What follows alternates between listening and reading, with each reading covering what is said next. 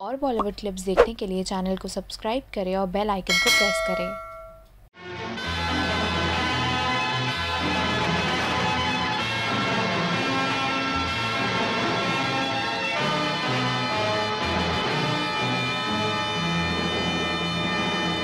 जिस तरह से चील आसमान से उतरकर ज़मीन पे तड़फड़ाने वाले कीड़े मकोड़ों को अपने पंजों में दबोच कर शांत कर देती है। उसी तरह से हम चोर, बदमाश और डाकुओं को शांत कर देते हैं। हमारा नाम प्रशांत है।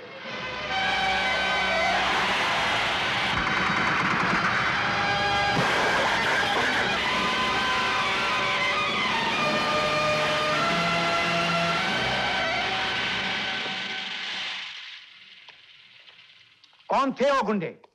उनका हुलिया बताओ, ताकि पुलिस उनको गिरफ़्तार कर सके। खामोश क्यों खड़े हो? तुम बताओ। तुम बताओ। इंस्पेक्टर साहब, ये बेचारे लोग क्या बताएँगे? सब डरे हुए हैं। आप आइए ना हमारे साथ, हम बताते हैं आपको। आइए।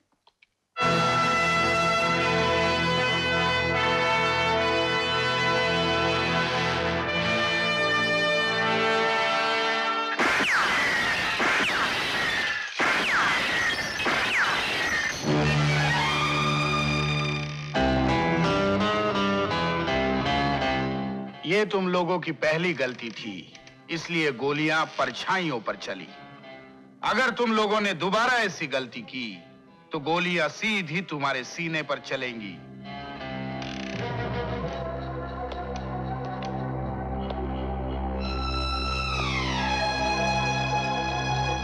कौन है वो जिसने शाकाल से दुश्मनी करके मौत को दावत दी है? बॉस, वो एक कुली है। जिसका नाम प्रशांत है प्रशांत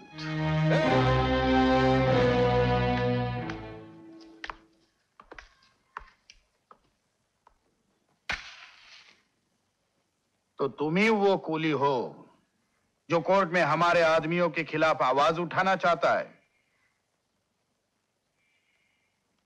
आवाज़ उठाना तो बहुत हल्की सी चीज़ है साहब। अगर हम चाहें ना तो उन लोगों की अर्थियाँ भी उठा सकते हैं। मगर हम आपको पहचाने नहीं साहब। मेरा नाम शाकाल है। जो हमारे खिलाफ आवाज़ उठाता है हम उसे खामोश कर देते हैं। बहुत ऊँची ऊँची बातें कर रहे हैं हाँ? अरे हम वो हैं जो उड़ती चिड़िया के पंख काट के उसको शांत कर देते हैं। हमारा नाम प्रशांत है। बच्चा जब तक आग से जलता नहीं उसे खिलौना समझता है। जरा उधर देखो।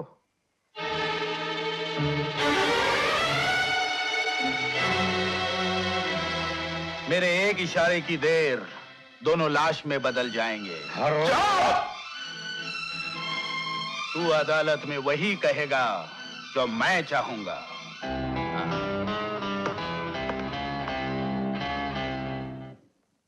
भाई बाप हम गाँव से शहर आए थे। बहुत बड़ा आदमी बनने के लिए। लेकिन भाग्य देखिए कि हम बन गए साला एक कूली। लेकिन बड़ा आदमी बनने की इच्छा हम अपने दिल से निकाल नहीं सके हुजूर। इसलिए मौका मिलते ही चोरी की और पकड़े गए। और घबरा के सारा का सारा इल्ज़ाम हम इन देवता स्वरूप लोगों के ऊपर लगा दिया। लेकिन हजूर, माई बाप, अब हम ये स्वीकार करते हैं कि यह सारा कसूर हमारा है। और ये लोग बिल्कुल बेकसूर है। चूँकि मुजरिम प्रशांत ने खुद इकबाल जुर्म कर लिया है, इसलिए अदालत उसे ताजीरात हिंद जेर दफ़ा 276 के तहत दो साल कैद बामुशक्कत सजा देती है।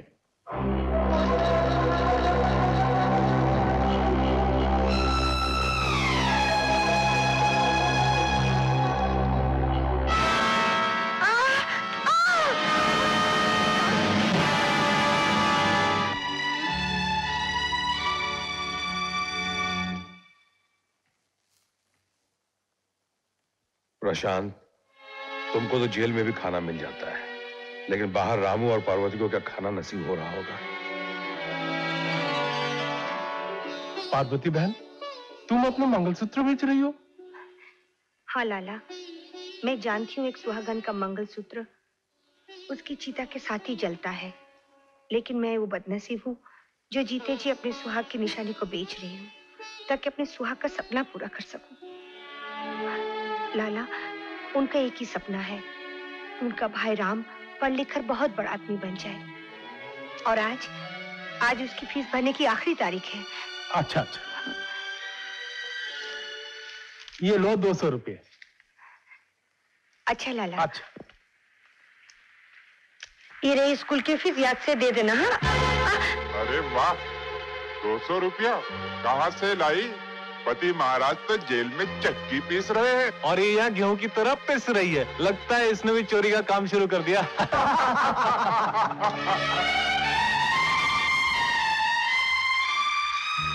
मैं तुम्हारे आगे हाथ जोड़ती हूँ। मेरे रुपया वापस कर दो वरना रामू का नाम स्कूल से कट जाएगा। दे दो। राम की गर्दन भी कट जाए तो भी ये रुपया हम वापस नहीं देंगे। मगर हाँ? तुम ये जवानी हम पर निछावर कर दो तो हम ये रुपया तुम पर निछावर कर देंगे। छोड़ दे मेरा हाथ छोड़ दो। अबे तेरी तो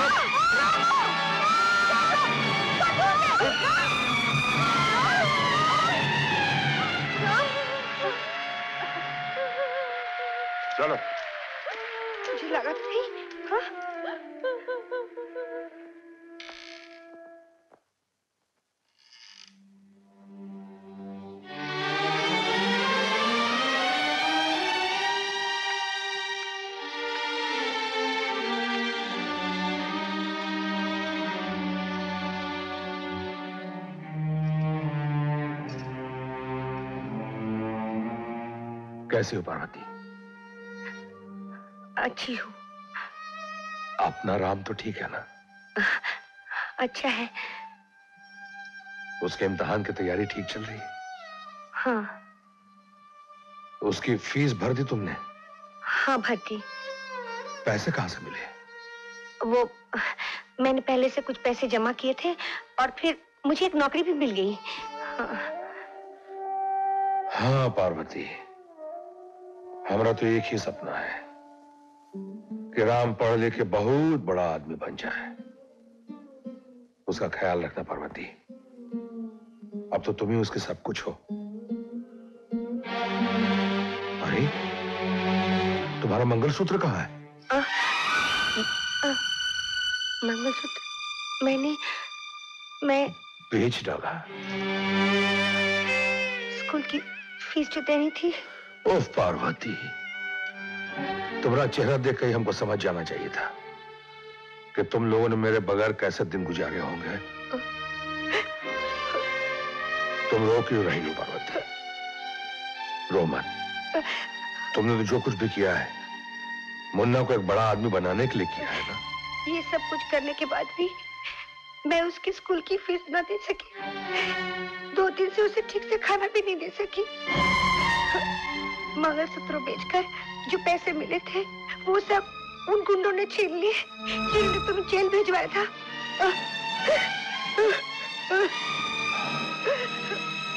रो मत पार्वती, जिन गुंडों ने तुमसे तुम्हारा मंगलसूत्र छीना है, जिन्होंने मेरे मुन्ना की फ़ीस और उसकी रोटी छीनी है, उन जालिमों से मैं उनकी ज़िंदगी छीन लूँगा।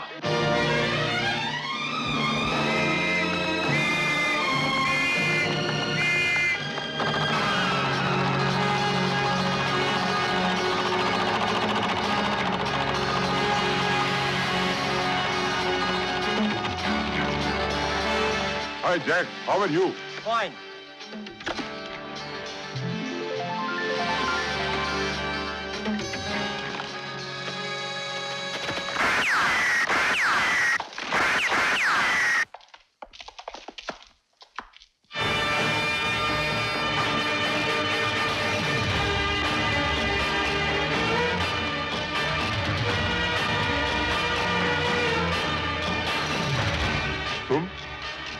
तो जेल में थे। यहाँ कैसे आ गए? ये मत पूछो कि हम कैसे आ गए।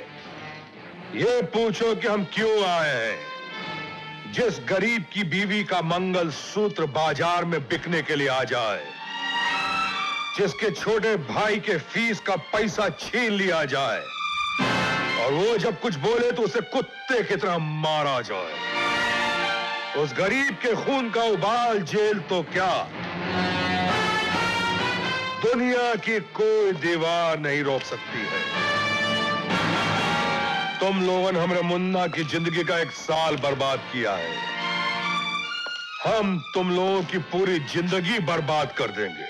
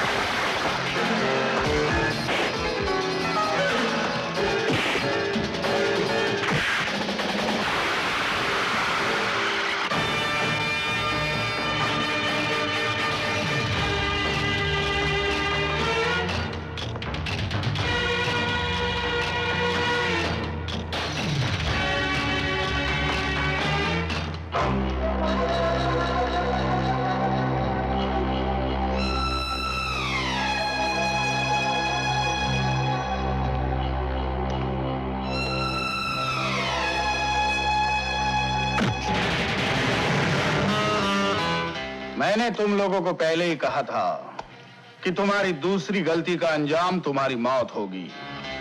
इसलिए उठाओ पिस्तौल और अपनी मौत की रस्म को अदा करो।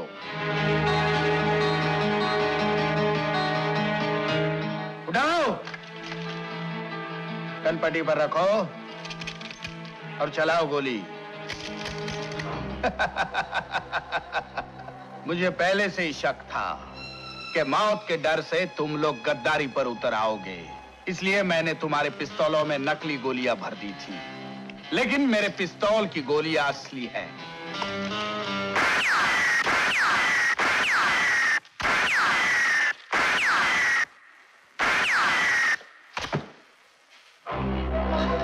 बैक। यस सर मुझे परशु की लाश चाहिए। आज अभी इसी वक्त। ठीक है। हे पार्वती। पार्वती। कौन? पार्वती हम दरवाज़ा खोलो। जल्दी करो। तुम?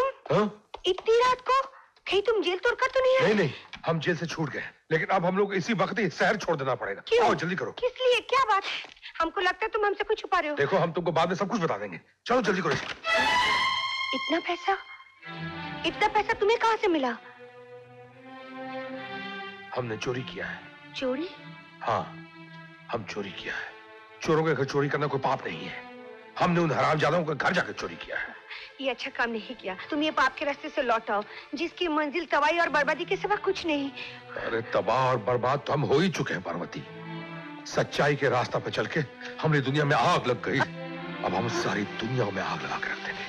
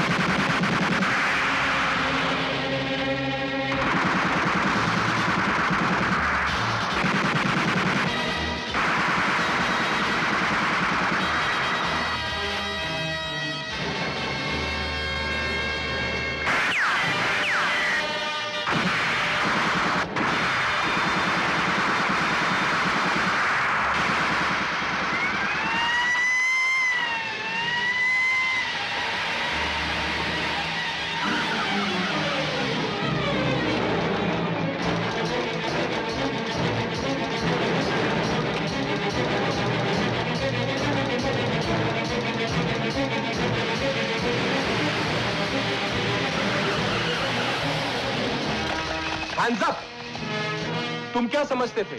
जेल तोड़कर कानून के हाथ से क्या बच जाओगे? इंस्पेक्टर साहब कानून क्या हम गरीबों के वास्ते बना है। अरे पकड़ना है तो उनको पकड़ो ना जिसने गुनाह किया है। इनको छोड़ दो। चलो पुलिस स्टेशन, चलो। इनको छोड़ दो इंस्पेक्टर साहब इनको छोड़ दो राम राम राम।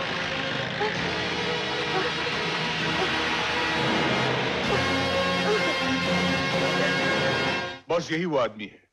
जिसने शाकाल की तकदीर में पहली बार हार लिख दी। और इस वक्त जेल में दो साल की सजा काट रहा है। आलीपुर जेल में। इतने काम का आदमी और जेल में मुझे ये आदमी चाहिए।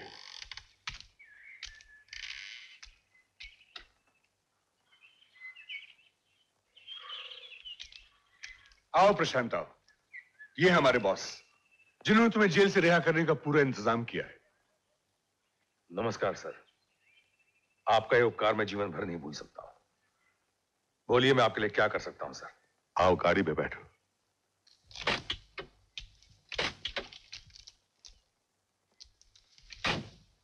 मुझे खबर मिली है कल ठीक तीन बजे डायमंड हार्बर पर डिसोजा नाम का एक आदमी शाहकाल को पाँच करोड़ रुपए की सोने की डिलीवरी देगा।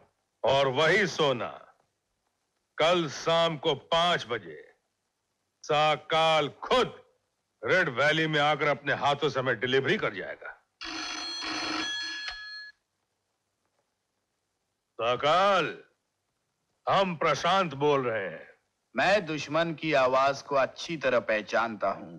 पहचानते हो तो काम बहुत ही आसान हो गया। क्या है कि कल ठीक पाँच बजे शाम को तुम अपने हाथों से पाँच करोड़ का सोना हमको रेड वैली पहुँचाने आओगे। समझ गए? मैं दुश्मन को सोने का नहीं मौत का तोहफा देता हूँ। अरे किसकी तकदीर में मौत है और किसकी तकदीर में सोना? ये तो तुम्हें कल पता चल जाएगा। शाम के ठीक पाँच बजे।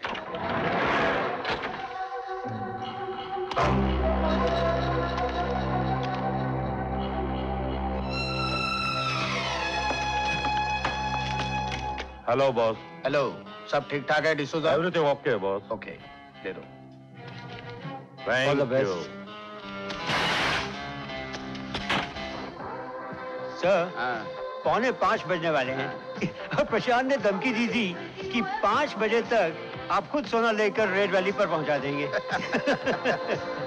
लगता है जेल से निकलकर सीधा पागल खाने पहुँच गया। और बिना इलाज कराए वहाँ से लौट आया।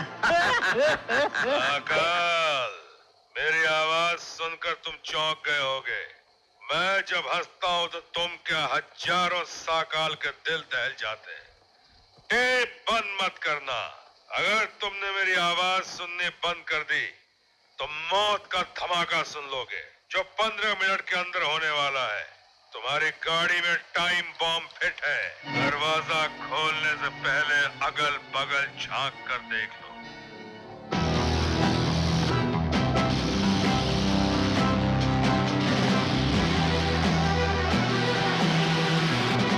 गॉड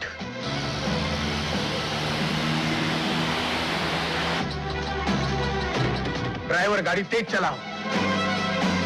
और तेज चलाओ।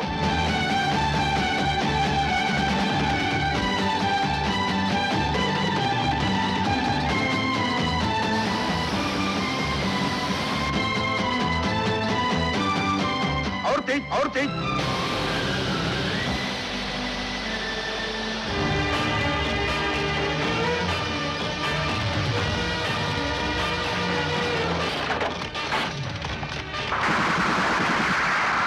तुम अपनी चिता से उतरोगे तब जब हमको माल दे दोगे।